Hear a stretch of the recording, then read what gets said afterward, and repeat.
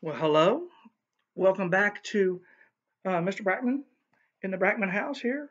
And we're reading through our book, The Watsons Go to Birmingham, 1963.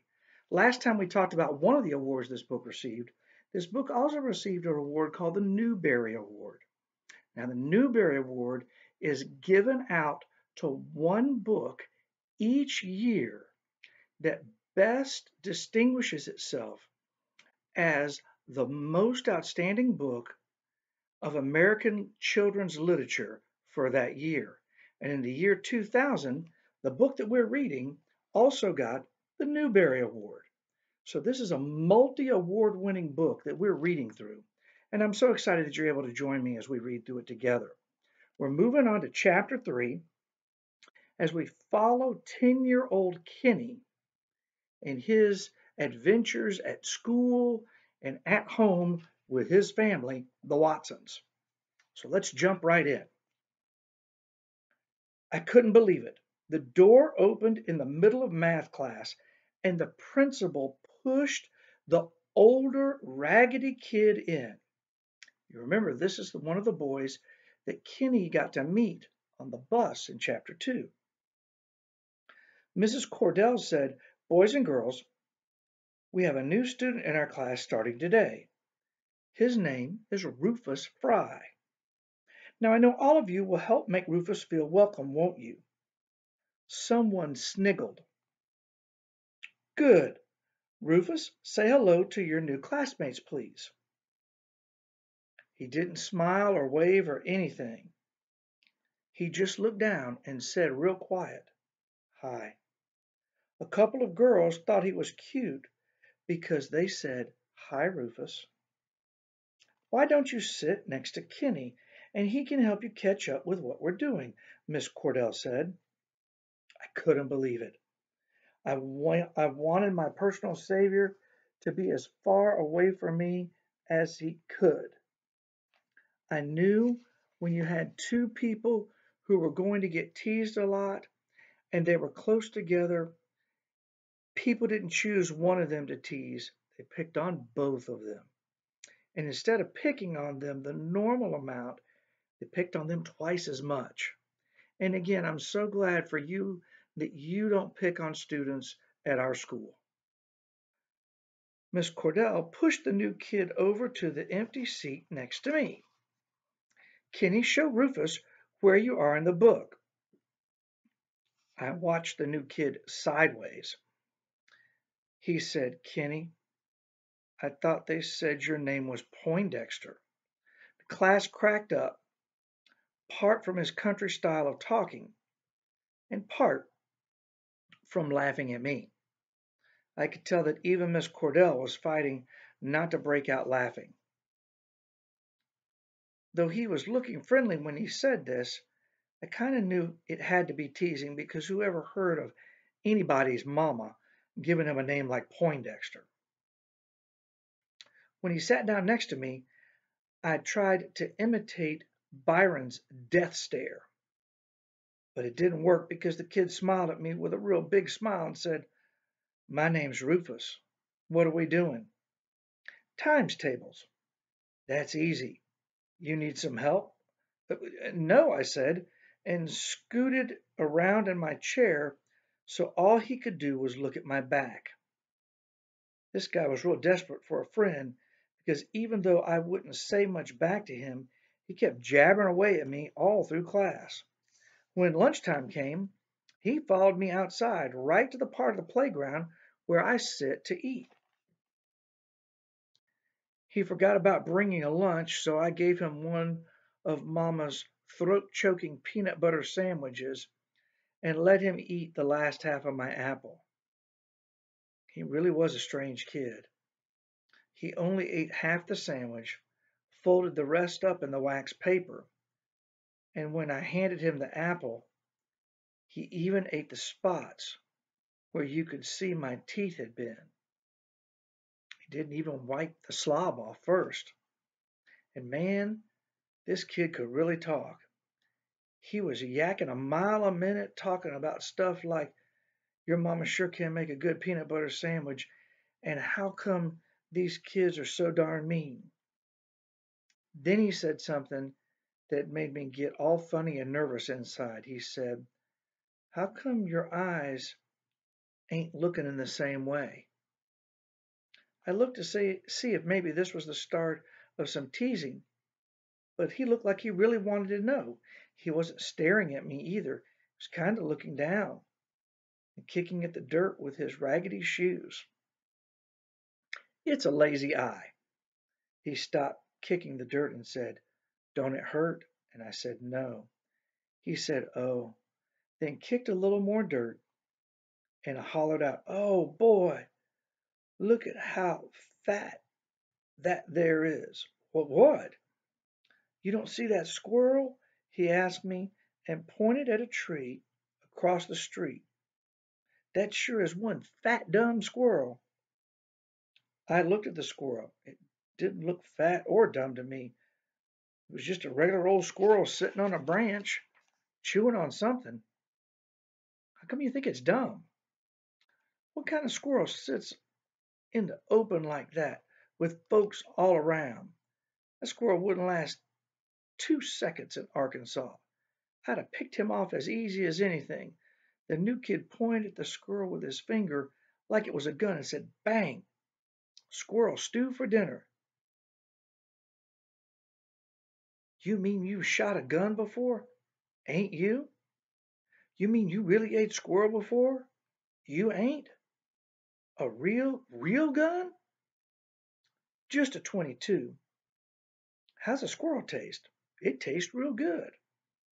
You mean you really shoot 'em with real bullets and then you really eat 'em? Why else shoot 'em? Real squirrels, like that one. Not that fat and not that stupid. I guess all the fat, stupid ones been got already. Since I was born, all that's left in Arkansas is skinny, sneaky ones. I think the Michigan squirrels is worse than two Arkansas ones. You ain't lying? He raised his hand and said, I swear for God. Ask Cody. Who? The little shrunk up version of the new kid was standing by himself up against a fence that runs around Clark, watching us. The new kid waved at him. and His little brother came running over. The big one pointed over at the squirrel. Cody, look at there. Cody laughed and said, Oh boy, that sure is a fat squirrel. Think you could pick him off from here? Cody pointed his finger like it was a gun and said, Bang, squirrel, stew tonight. Couldn't believe the little kid had shot a gun too. You shot a real gun? Just a 22. With real bullets? The little one looked at his big brother to see why I was asking all this stuff. It seemed like they were trying to be patient with me, like I was a real dummy or something. The older one said, Tell it. Yeah, it was real bullets. What else you going to shoot out of a gun? Still couldn't believe them, but the bell rang and lunch was over. I knew he didn't think I noticed, but the big kid gave the little brother the other half of my sandwich. I guess both of them forgot their lunch. Maybe because they wear really old clothes, they just can't afford to make a lunch to bring to school. This saver stuff wasn't going anything like I thought it was supposed to. Rufus started acting like I was his friend. In the morning on the bus, he'd always come and sit next to me. Miss Cordell put his regular seat next to mine at school. Every day at lunchtime, he followed me out to the playground, ate half my school sandwich, and then sneaked the other half to Cody. He even found out where we lived and started coming over every night around 5:30. Didn't mind him coming over to play, because both our favorite game was playing with the little plastic dinosaurs that I had, and you couldn't really have any fun playing by yourself. That was because someone had to be the American dinosaurs and someone had to be the Nazi ones. oh, excuse me. Rufus didn't seem to mind being the Nazi dinosaurs most of the time, and it was okay playing with him because he didn't cheat and he didn't try to steal any of my plastic monsters. The only other guy that I used to play with was L.J. Jones, but I kept quit playing with him when a lot of my dinosaurs started disappearing. Got about a million of them. But before LJ started coming over, had about two million. It's kind of embarrassing when LJ got them from me. At first, he'd steal them one at a time, and I asked Byron what I should do to stop it, and he said, Don't sweat it, punk. The way I figure it, one or two of them stupid little monsters ain't a real high price for you to pay to get someone to play with. But LJ wasn't satisfied with doing one or two. I guess he wanted a raise. So one day he said to me, You know, we should stop having these little fights all the time. We need to have one great big dinosaur battle. Yeah, we could call out all the world's greatest dinosaurs and have a world's greatest dinosaur war ever, I said. But I get to be the American dinosaurs. Should have known something was fishy when LJ said, okay. But I get first shot. Most of the time, it always took a big fight to decide who had to be the Nazis. I started setting up my dinosaurs, and LJ said, This ain't right. If it really is the world's greatest dinosaur war ever, we need more monsters. You should go get the rest of them. He was right. If we were going to be a famous battle, we needed more fighters. Okay, I'll be right back.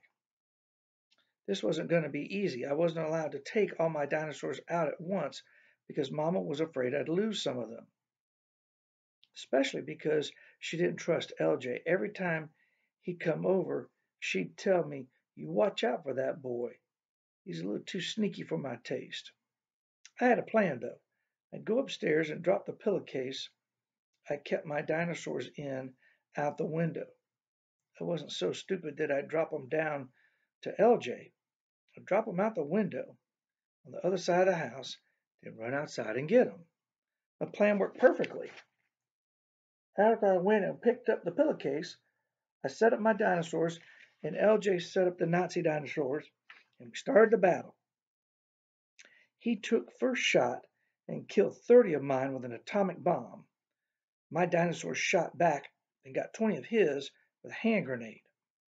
The battle was going great. Dinosaurs were falling right and left and center. We had a great big pile of dead ones off to the side and had to keep shaking more and more reinforcements out of the pillowcase. Then, in the middle of one of the big fights, LJ said, Wait a minute, Kenny, there's something we forgot about. I was ready for a trick. I knew J- LJ was going to try to get me to go away for a moment so he could steal a bunch of my monsters. And I said, Well, what? These dinosaurs been dropping atomic bombs on each other. Think about how dangerous that is. How's it dangerous? LJ said. Look, he made one of the brontosauruses run up to the pile of dead dinosaurs, and when he got two steps past them, started shaking and twitching and fell over on the side, dead as a donut. LJ flipped him over on the dead dinosaur pile. Said, What happened to him? It was the radioactiveness. We got to bury the dead ones before they infect the rest of the live ones. Maybe it was because we had such a great war going on that I was kind of nervous. oh, excuse me, I have a tickle in my throat about who'd win. But this stupid stuff made sense. So instead of digging each one of the couple hundred dead dinosaurs a grave, we dug one giant hole and buried all the radioactive ones in there. Put a big rock on top so no radioactivity would leak out. This really was the world's greatest dinosaur war ever. We fought and killed dinosaurs for such a long time that we had to make two more graves with two more big rocks on top of them. LJ finally pulled the trick I knew he was going to, but he did it in such a cool way that I didn't even see it coming. Oh no. Kenny, you ever been over in Banky and Larry Dunn's fort? LJ knew I hadn't. Uh uh Found out where it is. Where? You want to come see it? Are you crazy? They ain't there. This is Thursday night. They up in the community center playing ball. Really? Well, if you're too scared. I knew this was a worm with a hook on it, but I bit anyway. I'm not scared if you aren't. Let's go. Figured the trick would come in right here, so I kept a real good eye on LJ while we put my monsters back in the pillowcase. Then we were done, sneaked a look in his back pockets, because I knew when he stole dinosaurs, he put them back there or in his socks. From the way his pockets were sticking out, it looked like he had one Tyrannosaurus rex and one Triceratops. I couldn't tell how many he had in his socks. I figured that wasn't too bad a price for such an amount of fun that we'd had. LJ was talking a mile a minute. They even got some books in their fort. I like books.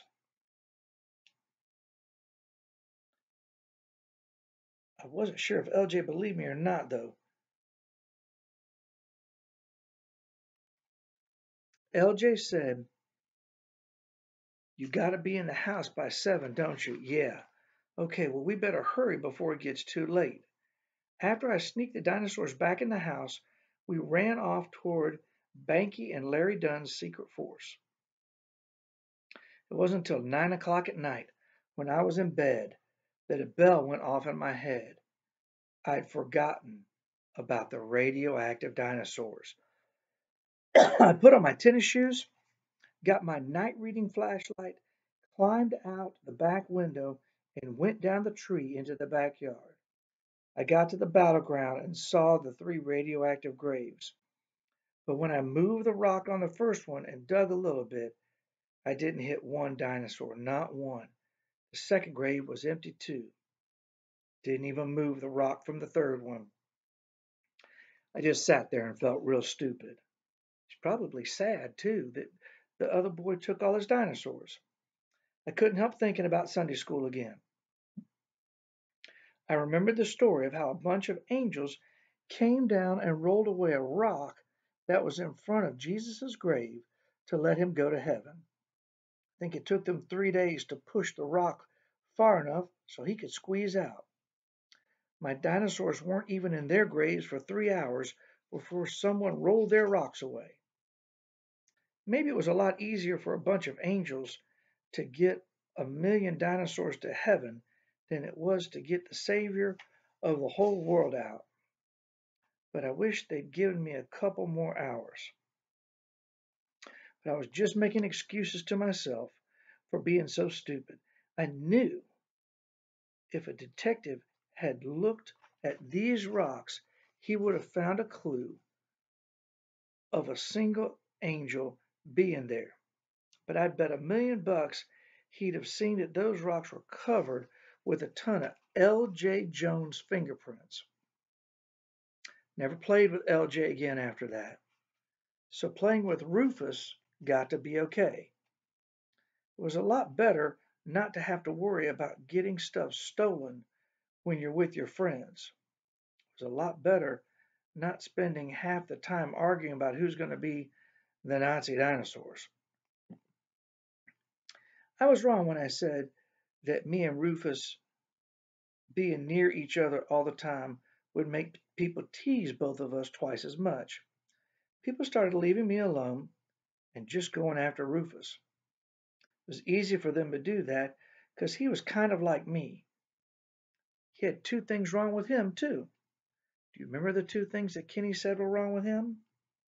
The first thing wrong with Rufus was the way he talked. After he said that hi y'all stuff on the bus, he got to be famous for it, and no matter how much he tried to talk in a different way, people wouldn't let him forget what he'd said. The other thing wrong with him was his clothes. Didn't take people long before they counted how many pair of pants and shirts Rufus and Cody had. It was easy to do because Rufus only had two shirts, two pair of pants. Cody only had three shirts and two pair of pants. They also had one pair of blue jeans that they switched off on. Some days Rufus wore them, some days Cody rolled up the legs and put them on. It's really funny how something as stupid as a pair of blue jeans can make you feel real, real bad. But that's what happened to me. We had been sort of secret friends for a couple of weeks before people really started getting onto them about not having a bunch of clothes. Me and Rufus said Cody were on the bus seat behind the driver one day, and Larry Dunn walked up to our seat and said, Country cornflake. I notice how you and your little flake switch off on them pants. I know Friday's your day to wear 'em, but I was wondering if the same person who gets to wear the pants gets to wear the drawers on that day too. It's really mean. Of course, the whole bus started laughing and hollering.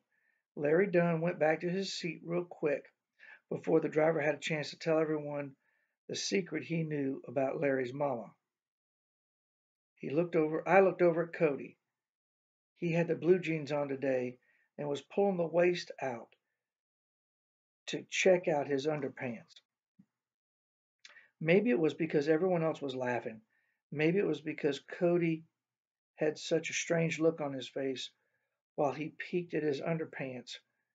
Maybe it was because I was glad that Larry hadn't jumped me. But for whatever the reason, I cracked up laughing too. Rufus shot a look at me. His face never changed, but I knew right away I'd done something wrong. I tried to squeeze the rest of my laugh down. Things got real strange. Instead of Rufus jabbering away at me a mile a minute at school, he scooted around his seat so all I could see was his back. He didn't follow me out on the playground. He acted like he didn't want my sandwiches anymore. Ever since Mama had met Rufus and I told her about sharing my sandwich with him, she had been giving me four sandwiches a day and three apples for lunch. When I saw him and Cody weren't going to come under the swing at lunchtime, I set the bag with their sandwiches and apples on it at the swing set. The bag was still there when school ended and the bell had rung. They quit sitting next to me on the bus, too, and Rufus didn't show up that night to play. After this junk went on for three or four days, I sneaked a pillowcase full of dinosaurs out and headed over to where Rufus lived. I knocked on the door and Cody answered. I thought things might be back to being okay because Cody gave me a big smile and said, Hiya, Kenny. You want to talk to Rufus? Hi, Cody. Just a minute. Kenny closed the door and ran back inside. A minute later, Rufus came to the door. Hi, Rufus. I thought you might want to play dinosaurs. It's your turn to be the Americans. Rufus looked at the pillowcase, then back at me. I ain't playing with you no more, Kenny. How come? I knew, though. I thought you were my friend. Didn't think you was like all them other people, he said. I thought you was different. He didn't say this stuff like he was mad. He just sounded real, real sad. He pulled Cody out of the doorway and shut it. Rufus might as well have tied me to the tree and said, Ready, aim, fire. I felt like someone had pulled all my teeth out with a pair of rusty pliers. I wanted to knock on his door and tell him I am different, but I was too embarrassed. So I walked the dinosaurs back home. I couldn't believe how sad I got. It's funny how things can change so much and you wouldn't notice. All of a sudden, I started remembering how much I hated riding the bus all of a sudden I started remembering how much lunchtime under the swing set alone wasn't very much fun. All of a sudden I started remembering that before Rufus came to Flint, my only friend was the world's biggest dinosaur thief, L.J. Jones. All of a sudden I remembered that Rufus and Cody were the only two kids in the whole school, other than Byron and Joey, that I didn't automatically look at sideways. A couple of days later, Mama asked me to sit in the kitchen with her for a while. How's school? Okay. I know she was fishing to find out what was wrong and hoped it wouldn't take her too long. I wanted to tell her what I'd done. Where's Rufus been? I Haven't seen him lately. It was real embarrassing, but tears exploded down my face, and even though I knew she was going to be disappointed in me, I told Mama how I'd hurt Rufus's feelings. I hope that you have a relationship with your mom or dad or your grandma or grandmother or auntie that you could tell them things that are bothering you. Mama said, Did you apologize? Sort of, but he wouldn't let me talk to him. Well, give him some time, then try again. Yes, Mama. The next day at school, when the bus pulled up at Rufus's stop, Mama was standing there. When Rufus and Cody got off, they said, Hi, Mrs. Watson, and gave her their big smiles. The three of them walked toward Rufus's house. Mama put her hand on Rufus's head while they walked. Mama didn't say anything when she got home, and I didn't ask her, but I kept my eye on the clock. At exactly 5:30 there was a knock, and I knew who it was, and I knew what I had to do. Mama and Joey were in the living room, and when they heard the knock, everything there got real quiet. Rufus and Cody were standing on the porch smiling a mile a minute and said, and I said, Rufus, I'm sorry. He said, That's okay. I wasn't through though. I really wanted him to know I am different. He said, Shoot, Kenny, you think I don't know?